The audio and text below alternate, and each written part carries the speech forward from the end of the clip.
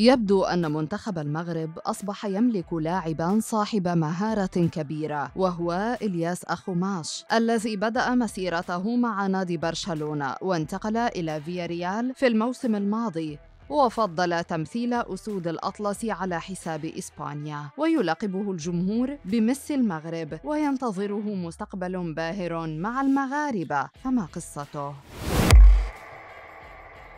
إلياس أخوماش لاعب فريق فياريال الإسباني كان أحد نجوم منتخب المغرب الأولمبي في أولمبياد باريس الأخيرة والتي نجح فيها أسود الأطلس في حصد الميدالية البرونزية وتقديم مستوى مميز في دورة الألعاب الأولمبية. ما جعل البعض يقول إن المغرب كان الأحق بالميدالية الذهبية. ويملك إلياس أخوماش الجنسية المغربية بفضل أصوله التي تنحدر من مدينة تطوان المغربية. الإسبانية بالإضافة إلى امتلاكه الجنسية الإسبانية. بعد أن ولد هناك وبدأ ممارسة كرة القدم من الأراضي الإسبانية. فقد ولد إلياس أخوماش عام 2004 في بلدية هوستالتس دي بيرولا التابعة لمدينة برشلونة بإقليم كاتالونيا لأسرة مهاجرة من المغرب ووالداه مغربيان. وبدأ أخوماش صاحب العشرين عاما ممارسة كرة القدم في أكاديمية برشلونة لمسية في طفولته وكان عمره عشر سنوات. ونتيجة لذلك رحل إلى الجار الكتالوني فريق خمناستيك تاراغونا بعدما قرر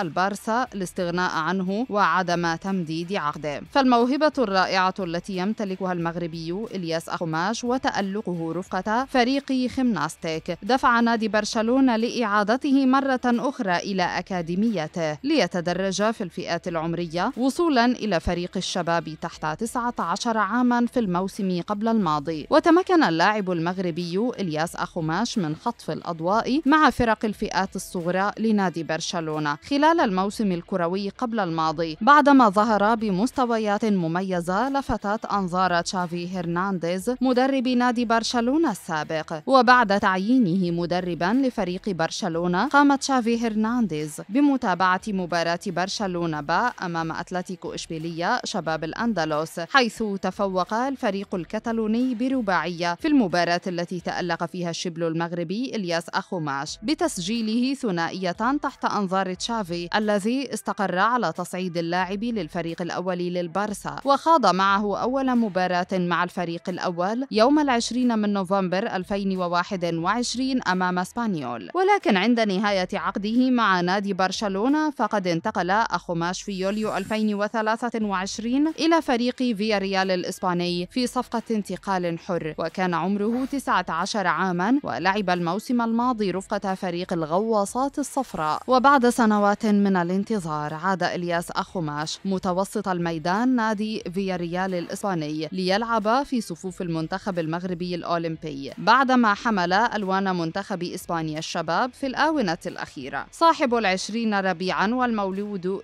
صاحب العشرين ربيعا والمولود في إسبانيا بريطانيا وبعدما حمل سابقا ألوان المنتخب المغربي لأقل من 17 سنة كان قد قرر فيما مضى اللعب مع صغار إسبانيا. ورغم ذلك لم تقطع معه الجامعة الملكية المغربية لكرة القدم خيوط تواصل إذ ظل مندوبها مع الجارة الأيبيرية على تواصل مع اللاعب ووالده حتى حان موعد عودته لارتداء قميص بلده الأصلي بدل إسبانيا. ويلعب إلياس بالقدم اليسرى ويجيد في مركز الجناح الجناح الأيمن ويعتبر في الوقت الحالي من أبرز مواهب فريق فيا ريال ويملك مهارة عالية ولديه قدرات كبيرة في مراوغة مدافعي ولاعبي الخصوم. وتطلق عليه الجماهير لقب ميسي المغرب وميسي الجديد. ويعتبر إلياس أخوماش ثالث لاعب مغربي لعب في صفوف الفريق الأول بنادي برشلونة. فقد سبق وأن ظهر عبد الصمد الزلزولي رفقة الفريق الأول لبرشلونة أمام ديبورتيفو ألافيس في أول ظهور. أما المغربي الأول الذي لعب في برشلونة قبل أخوماش والزلزولي فهو منير الحدادي الذي ارتدى قميص البرسا لفترة ما بين 2012 و 2019 وقد تخللتها بعض الإعارات.